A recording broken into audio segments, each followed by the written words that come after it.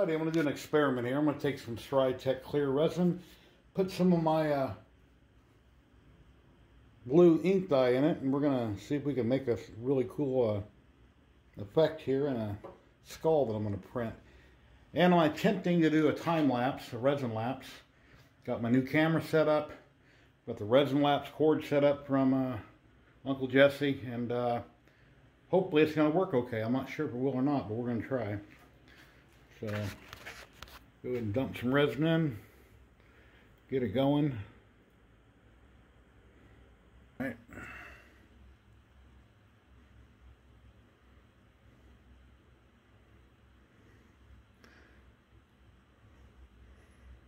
Quite a few drops in there.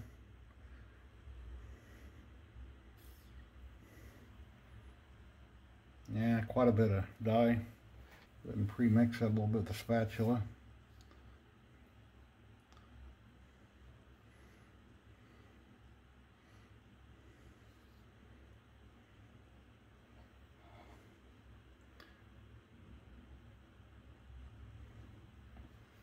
Real nice color. Very pretty. Yeah. Well,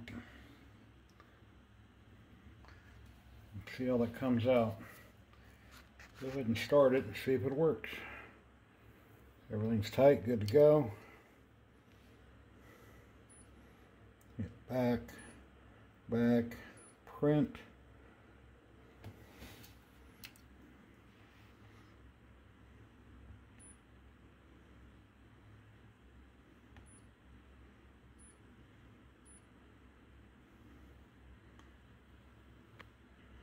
I think it's that. Yeah, that's it right there. Alrighty, let's see if this works. Maybe.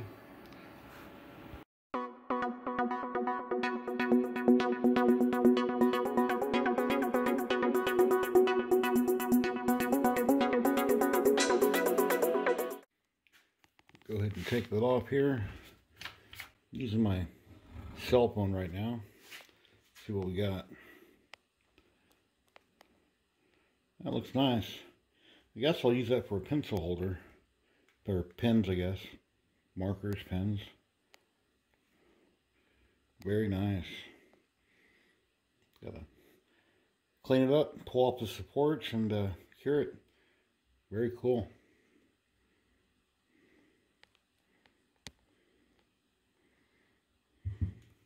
Alrighty, number two got done. Let's go ahead and take it off here, if I can do this one-handed. Take a look at it. So I added more dye this time. It's looking real nice.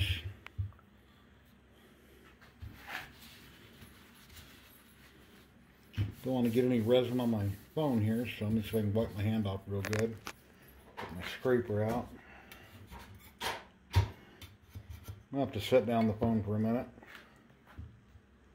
There we go. Let me show you how easy these supports come off here. I think I can do this one-handed.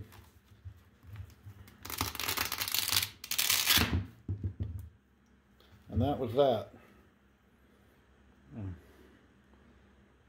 Came off real good. And let me throw that in some IPA and uh, get it all cleaned up. Yeah, it'd be cool. Nice looking pencil holder, or pen holder, I guess. Yeah, very cool. Tools or whatever. Awesome! I got two of them. I wanted one to be a little bit darker, so I put in more of the blue dye. And they both basically came out the same, but it did mix very well, and they came out nice. I'll put a link below where you can find this at. Uh, I believe I got it on Thangs, this uh, file. But that'll be an awesome pen holder, or put wrenches or screwdrivers or just whatever in. But yeah, came out amazingly well. Very cool.